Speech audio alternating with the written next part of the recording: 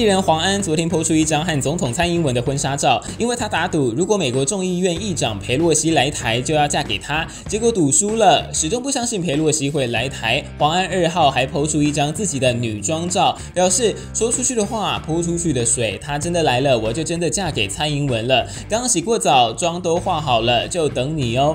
在裴洛西抵台前，黄安还不断在微博实况转播，贴出裴洛西的专机位置，专机显示目的地就是台北，并秀出台北一零一感谢民主挚友字样的照片。起初还赖账，连喊三次我不嫁，最后或许是不敌网友的抨击，才贴出一张合成的婚纱照，似乎想尽快结束这个话题。不过单方面喊价，网友也表示有问过蔡英文的感受吗？